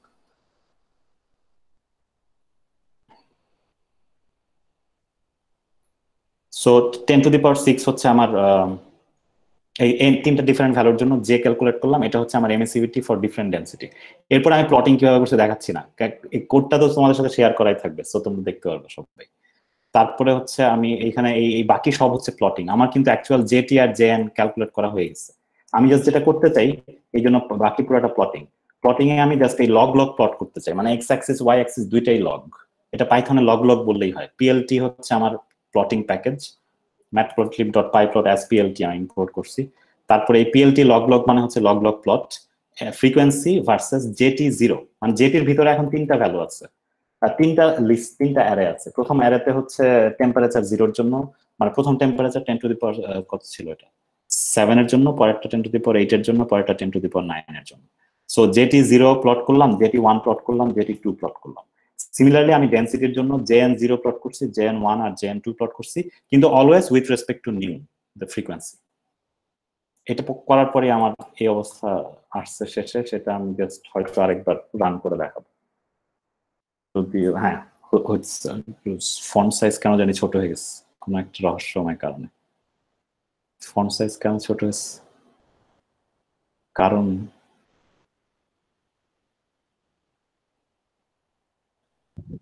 আরসি পার মাস আর আরসি পার মাসটা দেখেন মানে ফন্ট সাইজ ঠিক করে। আছে টার্মস দেওয়াই আছে কিন্তু সেটা কাজ করতেছিল। আচ্ছা এখন ঠিক আছে সরি এটা বোধহয় রানিং সমস্যা ছিল। সো এখন হতেছে প্লট রেডি হয়ে গেছে। প্লটটা আমার দেখানোর উদ্দেশ্য কারণ হচ্ছে আমি প্লটের একটু ডিটেলে দেখতে চাই। তাহলে ফ্রিকোয়েন্সির সাথে এদিকে দেখো এক্স অ্যাক্সিসে কিন্তু ফ্রিকোয়েন্সি আর ওয়াই অ্যাক্সিসে হচ্ছে আমার এমএসিভিটি যেখানে আমি ইউনিটটা আবার লিখে রাখছি। এমএসিভিটির ইউনিট হচ্ছে ও আমি এখানে জুল লিখছি কেন? এমএসিভিটির ইউনিটটা হবে watt watt per metre Q আচ্ছা এখানে লিখলে সমস্যা নাই। কারণ পার সেকেন্ড লিখতে চাইছিলাম বোধহয় সেই জন্য আমি জুল করে রাখছি, কিন্তু পরে পার সেকেন্ড আর অ্যাড করিনি। সো এটা ওয়াটই করে দিই। এখানে ওয়াট করে দিই। সময় কতক্ষণ? আচ্ছা আরও বিশ মিনিট আমরা থাকতে পারি। সো এখানে দেখা যাচ্ছে যে এমিসিভিটিটা watt per metre cube per hertz ওই ইউনিটই আসতেছে এখানে টেন টু এখানে আরেকটা জিনিস মনে রাখতে হবে, এখানে ইউনিট খুবই কম দেখা যাচ্ছে ten to the power minus forty one যেটা তো অবশ্যই extremely low watt compare to twenty watt bulb তার মানে একটা টোয়েন্টি ওয়াট বাল্ব তো, তুমি মনে রাখতে হবে, একটা আইসিএম এর ভিতরে প্রতি মিটার কিউব থেকে, প্রতি মিটার কিউব থেকে মাত্র এতটুকু আচ্ছা এতটুকু একটা মিসলিডিং টার্ম কারণ এটা পার পার ফ্রিকোয়েন্সি আমি যদি ফ্রিকোয়েন্সিতে ইন্টিগ্রেট করতাম, তাহলে ভ্যালুটা বাড়তো একটু। সো আমার আইসিএম কে এত ছোট ভাবার কারণ নাই। সো ভ্যালুটা বেশি কম আসতেছে কারণ আমাদের ওই পার ফ্রিকোয়েন্সি এখানে। যাই হোক। সো ইন্টিগ্রেশন করি না। যাই হোক সো ভ্যালুটা একটু বেশি হবে। কিন্তু স্টিল ওই টোয়েন্টি ওয়াটার বাল্বের সাথে কম্পেয়ার করা যায়। কারণ একটা টোয়েন্টি ওয়াটার বাল্ব তো এতটুক। সেখানে আইসিএম এর ভিতরে ওয়ান মিটার কিউব একটা হিউজ জায়গা। এতটুক জায়গা থেকে এমিশন আসতেছে compare twenty watt with ten to the power minus forty one watt কিন্তু অফকোর্স আমরা ইন রিয়েলিটি যেটা অবজার্ভ করি, সেটা হচ্ছে কয়েক মিলিয়ন লাইট ইয়ার্স এর ইন্টিগ্রেশন সো অফকোর্স তখন ভ্যালুটা তো এত ছোট হয়ই না, অনেক বেশি হয়, যখন আমি পুরো ভলিউমে ইন্টিগ্রেট করব, যাই হোক। সো কিন্তু এখানে যেটা আমার দেখানোর উদ্দেশ্য, আমি যদি এখন আবার ওই ইকুয়েশনটাতে ফিরে যাই, দুইটা খুব ইন্টারেস্টিং জিনিস দেখানো যাবে। একটা হচ্ছে এই এই ভ্যালুটা খেয়াল রাখতে হবে ই টু দি পাওয়ার এটা যেহেতু এখানে E to the power something আছে সো ওইটার, ওইটা দ্বারাই আমার কার্ভের কার্ভটা কেমন হবে সেটা নির্ধারিত হবে। সো আমি যদি জাস্ট এই ব্লু লাইনটা নিয়ে আপাতত ব্লু লাইনটা হচ্ছে ten to the power seven কেলভিনের জন্য। তাহলে দেখা যাচ্ছে এটা লো ফ্রিকোয়েন্সিতে টেন টু দি আরেকটা জিনিস হচ্ছে আমি উপরে কিন্তু ফ্রিকোয়েন্সি দুই ইউনিটে লিখে রাখছি। নিচে হচ্ছে hertz frequency nu in hertz আর উপরে হচ্ছে কিলো ইলেকট্রন ভোল্ট কারণ হচ্ছে আমি ফ্রিকোয়েন্সিকে যদি এইচ দিয়ে গুণ করি, যে উপরে যে এইচ নিউ আছে এইচ হচ্ছে প্লাংস কনস্ট্যান্ট প্লাংস কনস্ট্যান্টের ইউনিটটা এরকম। আমি এইচ কে যদি ফ্রিকোয়েন্সি দিয়ে গুণ করি, তাহলে অ্যাকচুয়ালি ইলেকট্রন ভোল্ট সরি এনার্জির এনার্জিতে চলে আসে। এবং এনার্জিকে তখন আমি ইলেকট্রন ভোল্টে কনভার্ট করে দেখাইতে পারি। তাহলে ওইটা ওটা সবসময় করা হয়। কারণ হচ্ছে ওই যে ten to the power something something এগুলো মনে রাখা কঠিন। কিন্তু আমি যখন কিলো ইলেকট্রন ভোল্টে কনভার্ট করি এনার্জিটাকে তখন ওইটা এই যে ten to the power zero মানে ওয়ান তারপর হান্ড্রেড সো দেখা যাচ্ছে ওয়ান টু হান্ড্রেড কেভির মধ্যে আমার বেশ এনার্জি আছে। সো ওইটা মনে রাখার জন্য সুবিধা। এই জন্য এক্সট্রা কমিউনিটিতে মানুষ কেভি ইউজ করে। যাই হোক এই জন্য আমি উপরে ওইটাও দিয়ে রাখছি। এটা নাথিং বাট এই এই এক্স অ্যাক্সিস কে এইচ দিয়ে গুণ করে উপরে একটা বসাইছি। এবং অফকোর্স এই সবকিছু এই কোডে করা আছে সো তোমরা কোডটা you can play around with the code যাই হোক, এখন এই মিলটা দেখলে কি দেখা যাচ্ছে? লো ফ্রিকোয়েন্সিতে এই ডায়াগ্রামটা প্রায় ফ্ল্যাট আর হাই ফ্রিকোয়েন্সিতে একটা খুবই শার্প কাট অফ এবং এই কাট অফটা কিন্তু এক্সপোনেনশিয়াল মানে একটা এক্সপোনেনশিয়াল ড্রপ আমরা জানি যে করোনা ভাইরাসের স্প্রেড ছিল এক্সপোনেনশিয়াল ওটা কেন ছিল? কারণ এক্সপোনেনশিয়ালের কথাটার অর্থই হতেছে যে এক্সপোনেনশিয়াল কার্ভ খুব তাড়াতাড়ি রাইজ করে বা ড্রপ করে। মানে শুরুতে মনে হয় খুবই আস্তে যাইতেছে, কিন্তু তারপরে সাডেনলি রাইজ করে বা ড্রপ করে। ওইটা হচ্ছে এক্সপোনেনশিয়ালের বৈশিষ্ট্য। কিন্তু এখানে দেখা যাচ্ছে যে সেই এক্সপোনেনশিয়াল কার্ভের ওই যে এটা এক্স্যাক্টলি করোনা ভাইরাসের মতোই অবস্থা। সো শুরুতে মনে হইতেছিল সবই ঠিক আছে, আস্তে আস্তে বাড়তেছে, কিন্তু তারপরে সাডেন জাম্প এখানে, এই ক্ষেত্রে উল্টা সাডেন ড্রপ এটা কেন হয় ওটা ইকুয়েশন থেকে বোঝানো সম্ভব। এই E to H nu divide by KT যদি আমার নিউ খুব ছোট হয় তাহলে এই নিউ এতই ছোট যে এই পুরো ভ্যালুটাকে প্রায় জিরো ধরা যায়। মানে কারণ আমি নিউ যদি অলমোস্ট জিরো ধরি জিরো তো না মানে ছোট বোঝানোর জন্য জিরোর কাছাকাছি, তখন আমি বলতে পারি যে এটা E to the power zero E to the power zero মানে ওয়ান তাহলে এই পুরো জিনিসটা যদি ওয়ান হয়ে যায়, তাহলে যে তো জাস্ট এই দুইটা জিনিসের উপর ডিপেন্ডেন্ট এবং এটা এটা অলমোস্ট লিনিয়ার একটা ফ্ল্যাট হবে। কেউ কি কিছু বলতে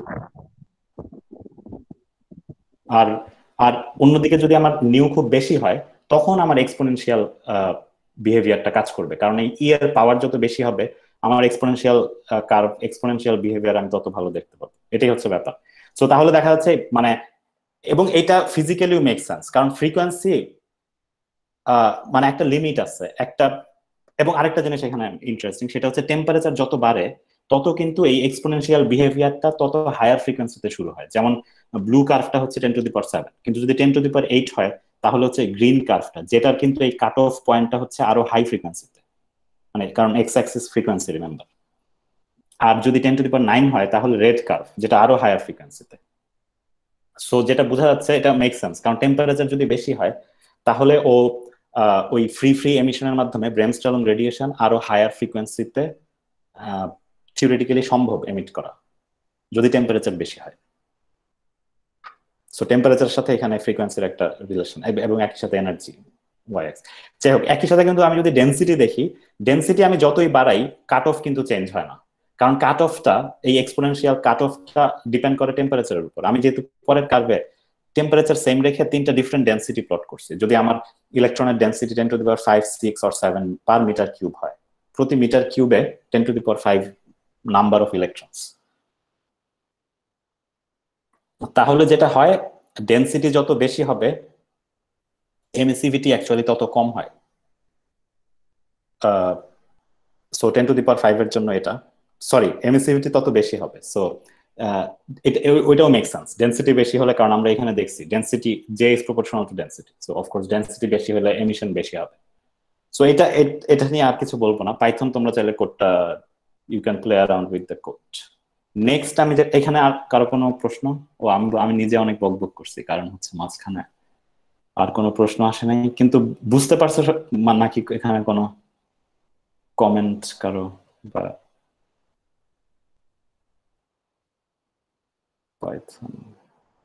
কমেন্ট নাই মনে হচ্ছে। ওকে তাহলে আমি এরপরে আর দুইটা জিনিস ডিসকাস করব।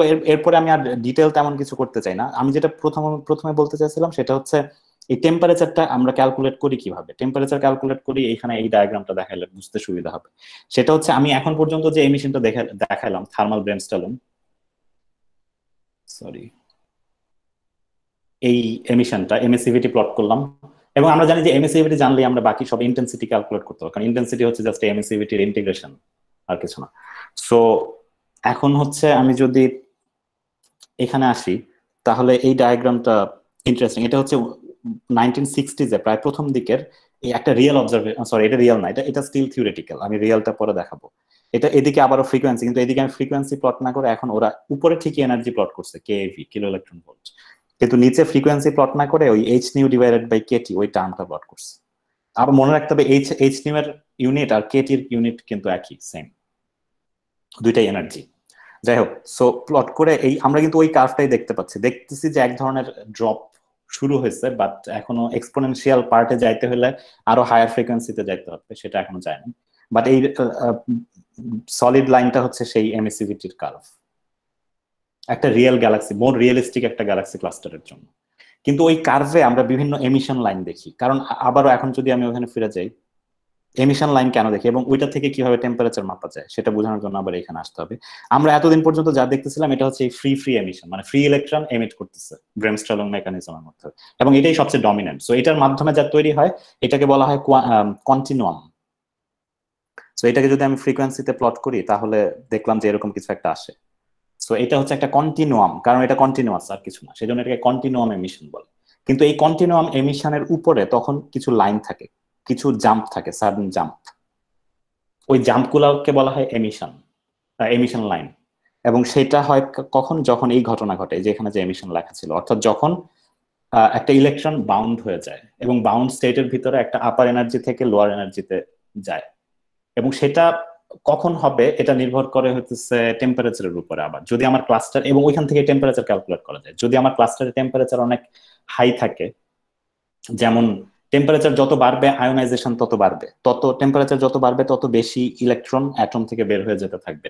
সো আমার টেম্পারেচার যদি for example eight eight kilo electron volt হয়, তাহলে ওই টেম্পারেচারে আয়রনের নিচের কোনো এলিমেন্টই নিউট্রাল অবস্থায় থাকতে পারবে না। মানে সব এলিমেন্টই আয়োনাইজড হয়ে যাবে। সো তাহলে একটা জিনিস বুঝতে পারব। আমি যখন একটা একটা একটা আইসিএম এর আমরা এই জিনিসটা অবজার্ভ করতে পারি লিটারেলি আমরা যেটা অবজার্ভ করি, সেটা হচ্ছে ইন্টেন্সিটি এবং ইন্টেন্সিটিকে যখন আমরা প্লট করি, তখন এরকম একটা কিছু পাওয়া যায়। যেটাই কোথায় ছিল? এখানে। এটা হচ্ছে একটা রিয়েল অবজারভেশন সো এটা যেহেতু রিয়েল আমি একটু রিয়েলে আসছি। সো এখানে একটা রিয়েল অবজারভেশন আমরা এই এই সলিড লাইনটা ছিল হচ্ছে ব্রেমস চালং ফ্রি ফ্রির কারণে। আর তার উপরে আমি কিছু জাম্প দেখতে পাচ্ছি এবং জাম্পগুলা কিসের জন্য লেখা আছে? কোন কোন এলিমেন্টের জন্য?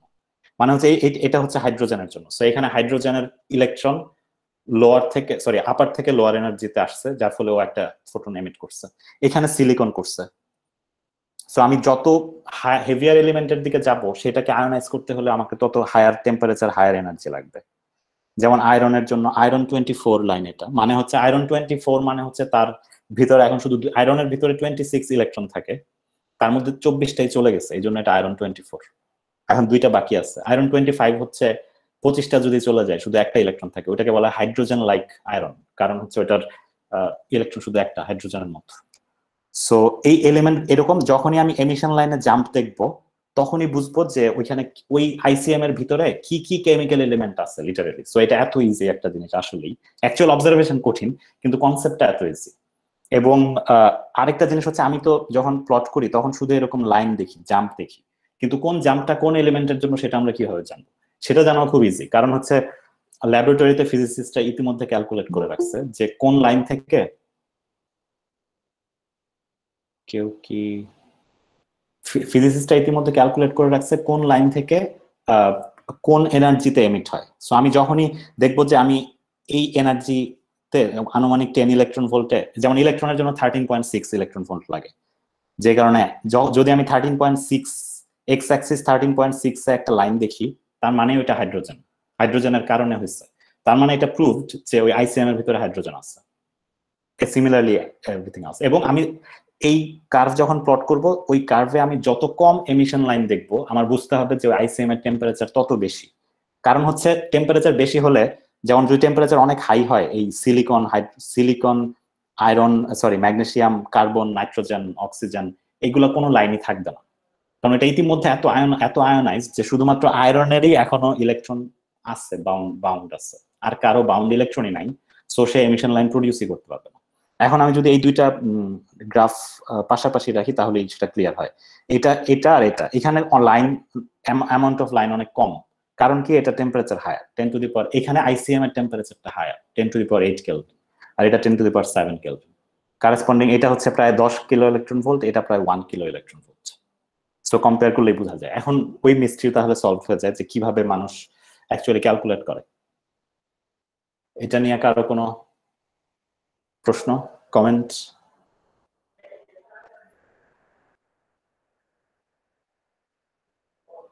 আমি আরেকটা জিনিস এক্সপ্লেন করতে চাইছিলাম, কিন্তু এটা যদি সময় থাকে করব। কিন্তু তোমরা এখন আর ডিসকাস করতে পারি মোর তো তোমাদের কি মনে হচ্ছে আইসিএম কে কেমন মনে হচ্ছে? লাস্টের দুইটা যে ডায়াগ্রাম ছিল ওটা একটু দেখতে পারি? আচ্ছা। হ্যাঁ। ডায়াগ্রাম কন্টিনিউয়াস স্পেক্ট্রার মধ্যে কিছুটা হচ্ছে এমিশনের লাইন দেখাচ্ছে তাই তো? তো মোটামুটি একটা স্পেক্ট্রাই বলা যায়। তো এই স্পেক্ট্রা গুলো হচ্ছে এই স্পেক্ট্রা গুলো কি তাহলে রোল মানে দেখার জন্য মোটামুটি যেহেতু আমরা বিভিন্ন লাইন দেখছি বিভিন্ন মলিকুলের জন্য তাহলে এগুলো কি হাই রেজলিউশন স্পেকট্রোস্কপি দিয়ে করা হয় না মোটামুটি লো রেজলিউশন দিয়ে করা যায়? সেটা হচ্ছে আচ্ছা হ্যাঁ এটা এটা ভালো প্রশ্ন। এটা মোর অবজারভেশন রিলেটেড টেকনিক্যাল প্রশ্ন। কিন্তু হ্যাঁ এখন এটা যেমন আমি আসলে আমি একটু টেলিস্কোপে আচ্ছা এরপরে আমি কুলিং করতে না গিয়ে যদি টেলিস্কোপে ঢুকি তাহলে অ্যাকচুয়ালি ওইটা একটু ভালো বলতে পারব। সো আমি টেলিস্কোপে ফিরে যাই, তাহলে দেখাইতে পারব। এক্স্যাক্টলি হাই রেজলিউশন আর লো রেজলিউশনের ব্যাপারটা। এখন এই এতক্ষণ আমি এমিশন নিয়ে কথা বলছি এবং এমিশন কি ইউজ করে কীভাবে টেম্পারেচার ক্যালকুলেট করা যায় বলছি। কিন্তু এখন নেক্সট যেটা আলোচনা করার কথা উইদিন টেন মিনিটস বা কিছু একটা, যে কীভাবে আমরা এটা ডিটেক্ট করি আসলে। ডিটেক্ট করি প্রথমত হচ্ছে এক ধরনের টেলিস্কোপ দিয়ে, যেটাকে ভোল্টার টেলিস্কোপ বলে এক্স রে ডিটেক্ট করার সিস্টেম যেটা আমি আমি নিজে কোনো কিছু সেভ করে রাখিনি। সো আমি এখানে জাস্ট ওইখানে আমি ওই স্পেকট্রোস্কোপের কথা আসব। সো তুমি মাইক্রোফোন এখন মিউট করতে পারো।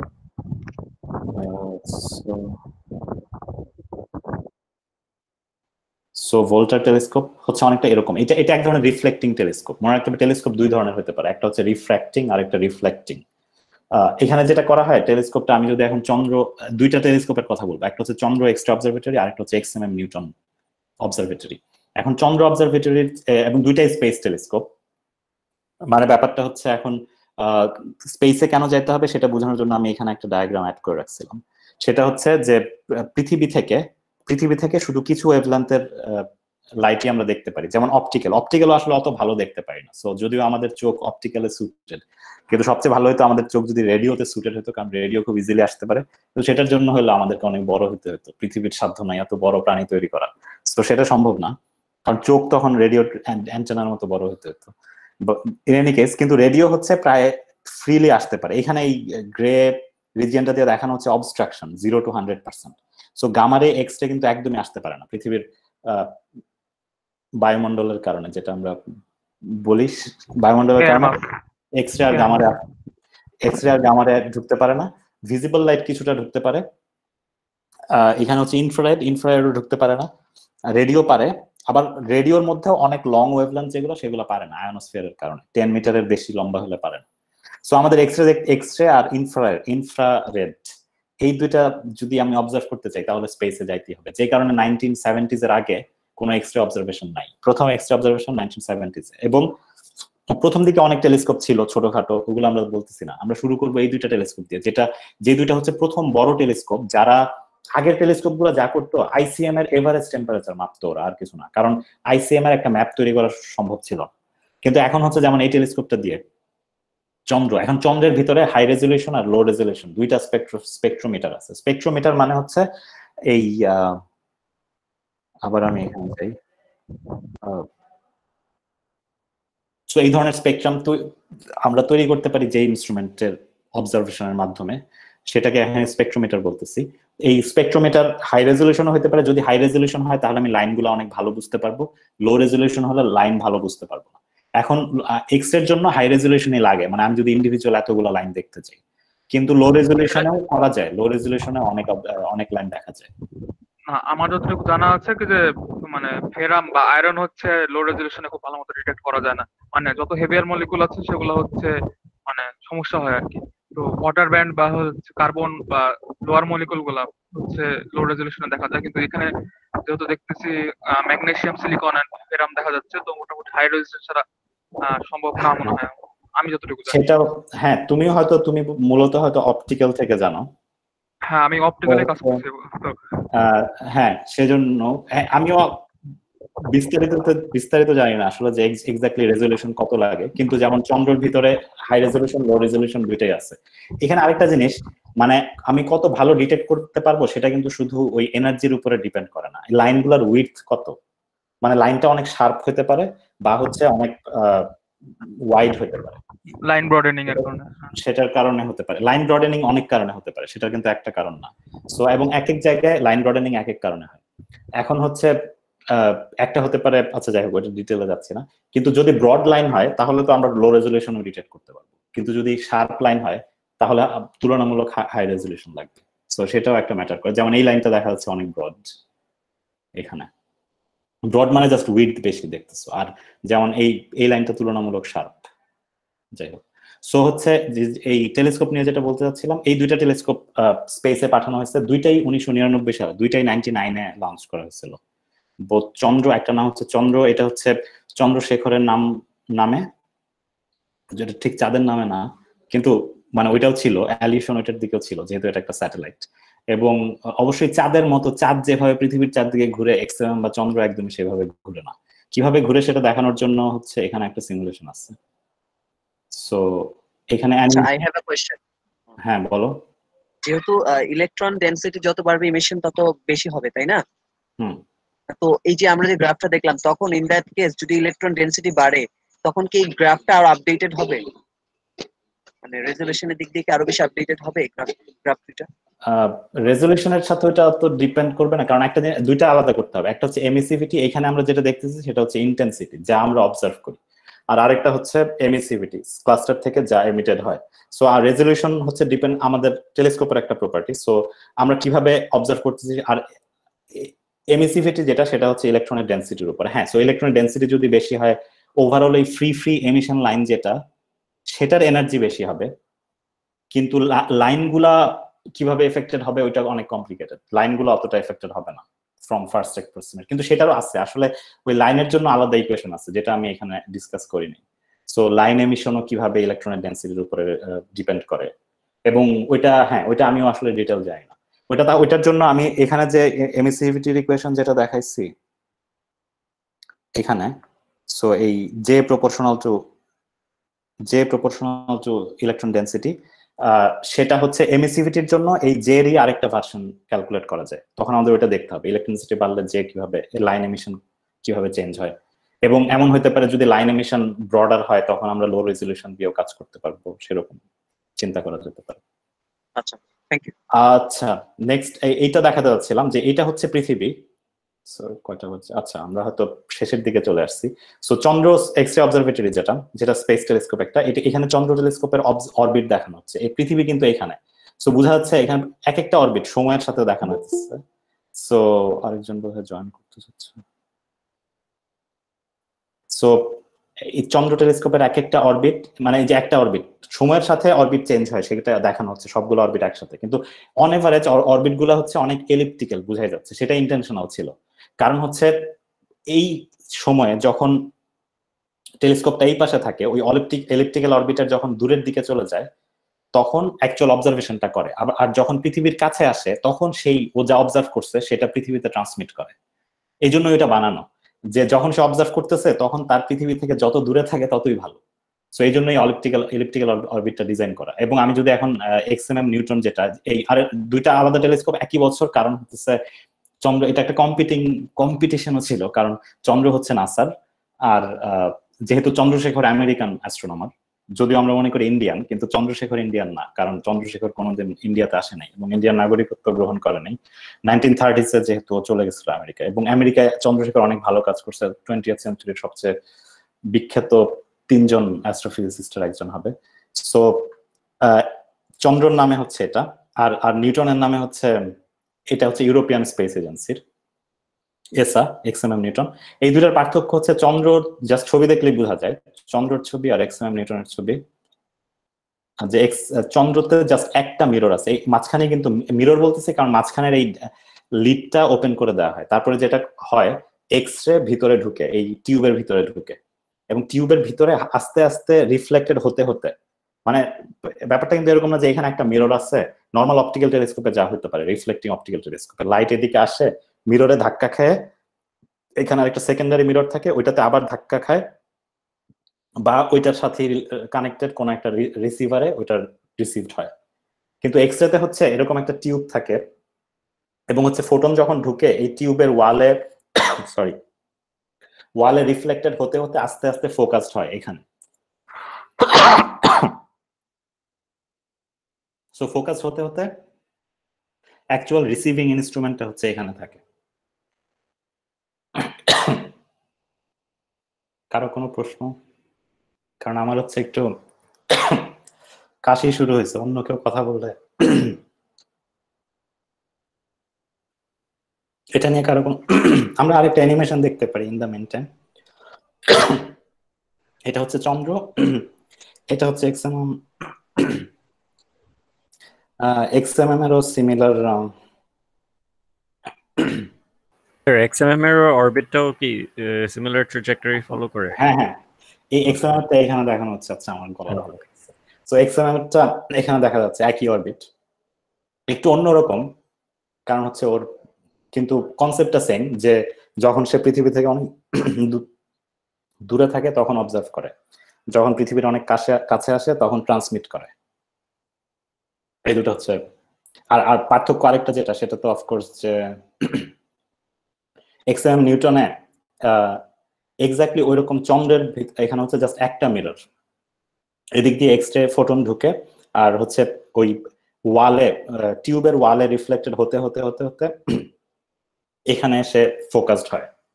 এবং ওইখানে সিসিডি থাকে যেটা দিয়ে ফোটন কালেক্ট করা হয়। আর এক্সএমএম নিউটনে এরকম টিউব তিনটা আছে। সো বেশি ফোটন কালেক্ট করতে পারে।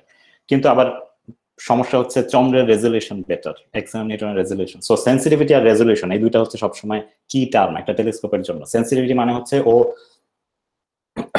কি পরিমাণ ফোটন রিসিভ করতে পারে? Total number of photon so XMM নিউটনের সেন্সিটিভিটি বেশি, ও বেশি ফোটন কালেক্ট করতে পারে, যেহেতু ওর এরিয়া বেশি, ওর রিসিভিং এরিয়া বেশি। আর কিন্তু সেন্সিটিভিটি হচ্ছে কত ভালো ডিফারেন্সিয়েট সরি রেজলিউশন হচ্ছে কত ভালো ডিফারেন্সিয়েট করতে resolution high resolution low resolution পিকচারের concept আমরা সবাই বুঝি সেই একই কনসেপ্ট সো এক্সএমএম নিউটন আর চন্দ্রের ছবি যদি কম্পেয়ার করো তাহলে তোমার নিজের একটা হাই রেজলিউশন আর লো রেজলিউশন ছবির মধ্যে যে পার্থক্য সেটাই হবে। আমাদের আলোচনা মোটামুটি শেষ এই পর্যন্ত ছিল কিন্তু এখন মানে আরও যদি কোনো প্রশ্ন থাকে বা কিছু বলতে চাও তোমরা কেউ স্যার হ্যাঁ। চন্দ্র আর এক্সএমএম তো মেইনলি এক্সট্রি ইমিশনটা ডিটেক্ট করে। কিন্তু যে হ্যাঁ। আমি যে ইমেজগুলা দেখি ওগুলা কীভাবে জেনারেট করা হয়? ওগুলা কি অপটিক্যাল ইমেজের সাথে নাকি? অপটিক্যালের সাথে এখন আরেকটা ব্যাপার হচ্ছে ইমেজ আমি মানে আমার ল্যাপটপে আমি আলটিমেটলি যা দেখতেছি দেখতেছি সেটা হচ্ছে জাস্ট ইন্টেন্সিটির আমি ধরো যে আমি যদি ওই রিসিভারে সিসিডিতে যা সো কনসেপ্টটা এক্স্যাক্টলি সেম অপটিক্যালে আমরা কি করি যে, প্রত্যেকের ক্যামেরায় একটা সিসিডি থাকে। সো আমি যে ফোটন কালেক্ট করি, সেটা সিসিডিতে জমা হয়। এবং তারপরে আমরা যেটাকে, আগের দিনে যেটাকে বলতাম, আগে একটা নেগেটিভ থাকতো, তারপরে ওই নেগেটিভটা থেকে অ্যাকচুয়াল ছবি তৈরি করা হতো। এখানে যা ছিল যে, ওই সিসিডিটা পরে রিড করতে হয়। রিড করে আমি কম্পিউটারে ওইটাকে যে কোনো ভাবেই প্লট করতে পারি। কিন্তু আমার অ্যাকচুয়াল প্লটটা অপটিক্যালের মতোই। মানে দেখতে কীরকম সেটা আমি এখানে দেখাইছি। সো ওই চন্দ্র দিয়ে তোলা ছবি আলটিমেটলি দেখতে কীরকম হতে পারে?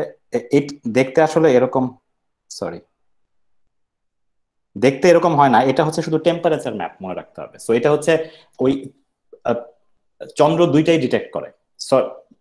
সিসিডিতে সিসিডিতে বোথ এনার্জি ডিটেক্টেড হয় এবং আমরা ওইখান থেকে টেম্পারেচার ডিরাইভ করতে পারি ইন্ডিভিজুয়াল প্রতিটা পয়েন্টের তারপর আমি যদি টেম্পারেচার প্লট করি, তারপরে আমি যা দেখব, এটাকে বলতে পারি এক ধরনের টেম্পারেচার বা হিট ম্যাপ আর গ্যালাক্সি ক্লাস্টারটার সো আমরা যা করতেছি, এটা হচ্ছে ম্যাপিং আমরা ম্যাপ তৈরি করতেছি।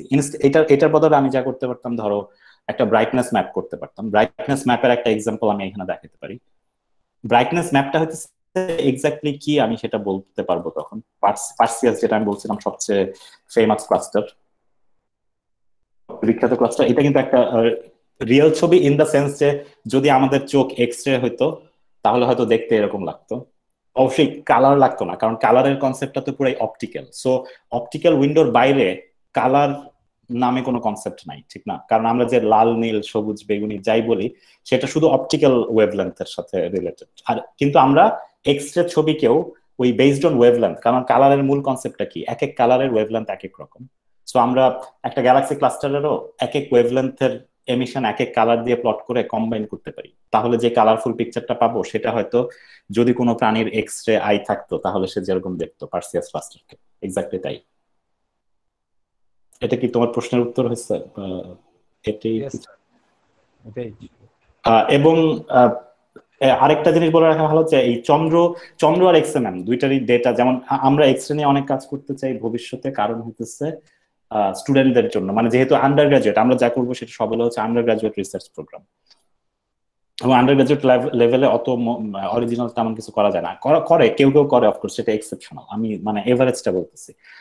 সো এভারেজে আন্ডার গ্রাজুয়েটে যেটা করা যায়, মোর হচ্ছে এরকম কিছু শেখার চেষ্টা করা। So open public domain data থাকলে, সেই ডেটা রিডিউস করে কিছু দেখার চেষ্টা করা। তো যেমন চন্দ্রর এখানে, আমি যদি আমি দেখাচ্ছি না, কিন্তু এটা হচ্ছে চন্দ্রর ওয়েবসাইটে ওদের আর্কাইভ সার্চ করার সিস্টেম চন্দ্রর প্রায় চন্দ্র মনে রাখতে হবে যে চন্দ্র কিন্তু রিলিজ লঞ্চ হয়েছিল নাইনটি নাইনে এবং প্ল্যান ছিল মাত্র পাঁচ বছর কাজ করবে। কিন্তু চন্দ্র এখনও কাজ করতেছে। বিশ বছর হয়ে গেছে। বিশ বছরের বেশি হয়ে গেছে। এক্সএম নিউটন এখনও কাজ করতেছে। বিশ বছরের বেশি হয়ে গেছে। কিন্তু অবশ্যই প্রথম দিকের প্রথম দশ বছরের অবজারভেশন বোধ হয় সবকিছুই পাবলিক ডোমেনে আছে। So up to two thousand ten বা হয়তো পরের অনেক কিছু এবং সবকিছু এখানে পাওয়া যায়। সেগুলা আমরা তারপরে অ্যানালাইজ করতে পারি। সেই সফটওয়্যারও চন্দ্রের ওয়েবসাইটে দেওয়া আছে। চাও নামে একটা সফটওয়্যার সেগুলো নিয়ে আমরা পরে হয়তো আর অন্য কখন আলোচনা করতে পারি স্পেসিফিক্যালি ওইগুলো রেলেভেন্ট হবে কাদের জন্য? যারা কেউ যদি এটা নিয়ে কাজ করতে চায় তখন। সেই জন্য আমরা এখানে এটা বলতেছি। আর কেউ কিছু? আচ্ছা রেডিও রেডিও গ্যালাক্সির জন্য ডাটা কোথায় পাওয়া যায় মোটামুটি? রেডিওর সমস্যা। এই জন্যই আমি এক্স রে নিয়ে বেশি কাজ করতে চাই কারণ এক্স রেতে প্রচুর মানে ওয়েল মেড ডেটা আছে চন্দ্র যেরকম। রেডিওর সমস্যাটা হচ্ছে রেডিওর অনেক ডেটা পাওয়া যায়। যেমন হচ্ছে কিন্তু যা পাওয়া যায় সেগুলো দিয়ে ঠিক ইমেজিং করা যায় গ্যালাক্সিটা দেখা যায় কিন্তু অত বেশি কিছু করা যায় না। যেমন ভিএল এর যেরকম। ভিএল এ টেলিস্কোপের ফার্স্ট ক্যাটালগ আছে একটা। এখানে অনেক রোল মানে আমি হচ্ছে ডবল হর্ন ফিচারটা খুঁজছিলাম কোনো স্পেক্ট্রার জন্য রেডিও গ্যালাক্সির কিন্তু ডেটা পেলাম না এর। ডেটা. রেডিও গ্যালাক্সির জন্য ডেটা খোঁজাটা একটু বেশি কঠিন। কারণ হচ্ছে রেডিও অ্যাস্ট্রোনমি এত এত যেহেতু রেডিও অ্যাস্ট্রোনমি তুলনামূলক আবার বেশি বড় কমিউনিটিও এক্সের চেয়ে যে কারণে দেখা যায় অনেক ডাইভার্স কিন্তু হ্যাঁ ওইটা নিয়ে আমরা আলোচনা করতে পারি। একটা স্ট্যান্ডার্ড হচ্ছে এটা যেটা আমরা অনেক ইউজ করতেছি ফার্স্ট ক্যাটালগ কিন্তু ওইখানে অফকোর্স স্পেকট্রাল ইনফরমেশন পাওয়া যাবে না যে ইমেজ পাওয়া যাবে। আর কোনো? আমরা হয়তো যেহেতু মোটামুটি আমাদের আলোচনার বিষয় এটাই ছিল এক্সট্রা এবং যেটা করব ভবিষ্যতে আসলে নেক্সট উইকে হচ্ছে অথর সিরিজ থাকবে, একটা সাউথ আফ্রিকা থেকে একজন প্রেজেন্ট করবে।